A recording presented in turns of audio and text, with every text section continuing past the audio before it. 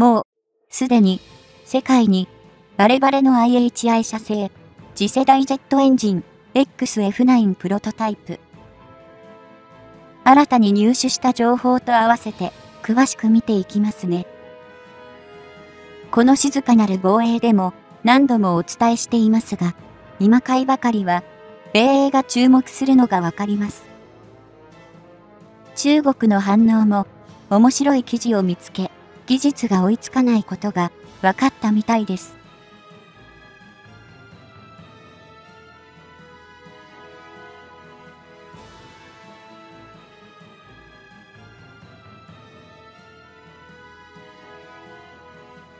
防衛省が2010年8月に公表した将来の戦闘機に関する研究開発ビジョンにおいて次世代戦闘機 I3 ファイター I ファイターがいわゆる第6世代国国産戦闘機のコンセプトモデルとして提唱された。この I3 ファイターの I3 とは高度な情報化、インフォームドと知性化、インテリジェントされた戦闘機によって敵を瞬時、インスタンタヌアニタタクトの3つの単語の頭文字で現在運用している平成の冷戦、ことへ普通戦闘機の後継機種として三菱重工業を主幹とする国内企業7社によって開発が進められていて、F2 の後継機種であることから、F3 あるいは FSX 次期支援戦闘機と呼ばれることもある。防衛省では、2020年度、令和2年度、防衛予算において、初めて開発予算して以来、これまでは、この I3 ファイターを将来戦闘機呼んでいたが、2019年12月公表の我が国の防衛と予算、令和2年度予算の概要案では、次期戦闘機を正式な故障としている。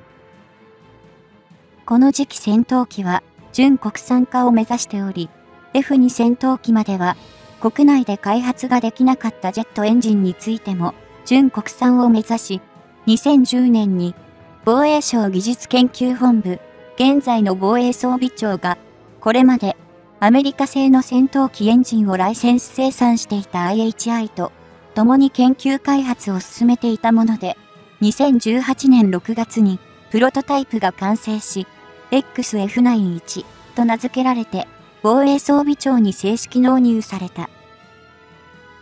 この XF9 開発には、その母体となった XF5 というエンジンが存在し、やはり、防衛装備庁と IHI、当時は、石川島播磨重工業によって共同研究、開発が進められていた。XF5 は、XF9 と同様に、アフターバーナーを備えたターボファン方式ジェットエンジンで、1995年から2008年まで研究開発が進められ、1998年には初号機が完成。ステルス研究のための先進技術実証用研究機 X に新進に搭載され、2016年4月22日に初飛行に成功していた。XF9 は次期戦闘機に搭載することを目標に開発されている低バイパス比ターボファンエンジンで、開発基本コンセプトはハイパワースリムエンジンであり、大井で務むかつスリムであることを目指している。そのサイズは、現在 F15、イーグル F16、ファイティングファルコンに搭載されているアメリカのプラットホイットニーの F100 エンジンとほぼ同じで、空気取り入れ口の直径は約 1M、軸長が約 4.8M とされていて、その水力は通常で 11TF、108KN 以上、アフターバーナー使用時で 15TF、147KN 以上に達し、タービン入り口温度は1800度以上とされる。この推力性能は F110 の水力を3割ほど上回るとされ、アメリカ、空軍の最新鋭ステルス制空戦闘機である F22、ラプターに搭載。されているプラットホイットニー F119 と比べても遜色がないと言われている。なお、航空自衛隊が導入を進めている第5世代ステルス戦闘機 F35 ライトニング2に搭載されているプラットホイットニー製の F135 はアフターバーナー使用時の最高出力が 191.35kN とえ F119 や XF9 を大きく上回っているが、そのサイズは一回り大きく F35 は単発エンジンである。そのため、総発エンジンの F15 やえ、普通には単純な水力比では F35 を上回り、日本の次期戦闘機も公表されているデジタルモックアップを見る限りでは総発であるため、その速度や加速性能などにおいて、F35 とは同等以上と推定されるのである。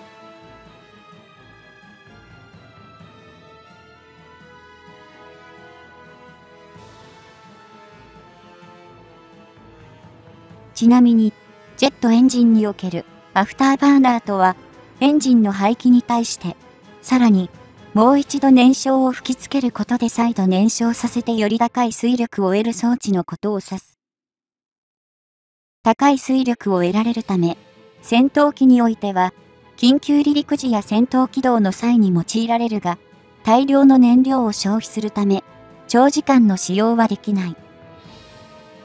日本政府と防衛省は、この先時期戦闘機の開発については、海外技術の提供が必要不可欠として、戦闘機開発では、先駆者であるロッキード・マーティンの支援を受けて、機体のステルス性向上やアビオニクスなどについて、共同開発をするとして調整している。また、エンジン開発については、XF9 を開発した IHI を中心として進めていくことになっているものの、量産によるコスト削減やさらなるコンパクト化と性能向上に向け、ジェットエンジン開発に定評のあるイギリスのロールス・ロイスの協力を得て、共同開発とする方向で話が進められている。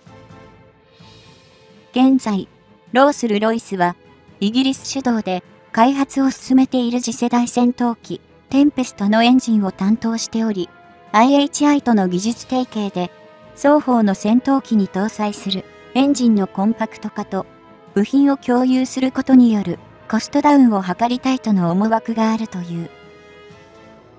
実際に、これまで IHI とロールスロイスは民間企業ジェットエンジンにおいて共同で開発、製造を実行しており、その関係性は良い。XF9 のさらなるコンパクト化に成功すれば、次期戦闘機の機体に余裕ができ、機体全体のコンパクト化のみならず、兵器搭載量や搭載燃料を増やすことが可能になるなどのメリットがある。ステルス戦闘機にミサイルなどを搭載する場合には、敵レーダー並みの反射を防ぐため、機体内のウェポンベイの中にミサイルを収容するが、機体に余裕がないと搭載できるミサイル数がかなり少なくなってしまう。と言って、従来通りに翼化や胴体化のハードポイントに吊り下げてしまうと、ステルス性を損なうことになるため、大きな追艦ミサイル、対地ミサイルも搭載できる、広いウェポンベイが望ましいとされているのである。そして、コンパクト化の他にも、水力変更ノズルの開発も進められていて、これは、飛行中に水力方向を変えることによって、飛行中の軌道に変化をもたらす装置で、これについても、ロースル・ロイスとの協力で、スムーズに開発が進むと考えられる。このように、今後の成長に、さらに期待が膨らむ XF9 エンジンであるが、その開発に戦々恐々としている国がある。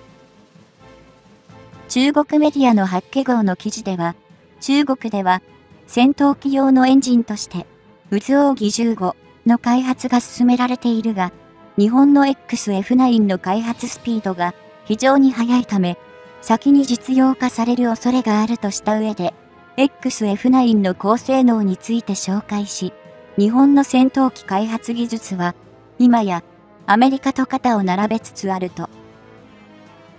その成長について指摘している。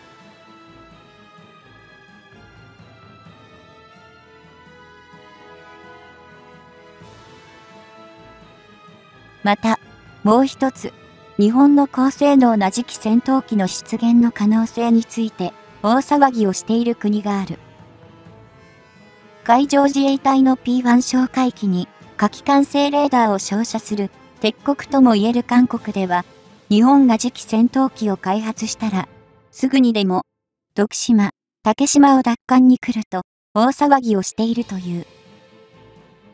この隣国では、日本の次期戦闘機に対抗して、次期国産戦闘機 F21、フォラメ、若鷹の開発を進めているが、日本より早く、その試作1号機が完成したとして、2021年4月に、盛大に製造工場からの出庫式が開催された。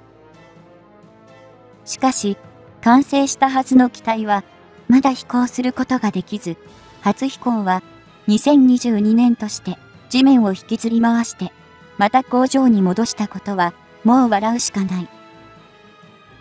この国の国防とは、常に日本の上を行くということであり、日本が持つ兵器は、韓国も必ず保有しなければならないとして、出雲、型の空母化を意識するあまりに、自国に必要のない軽空母を建造するという。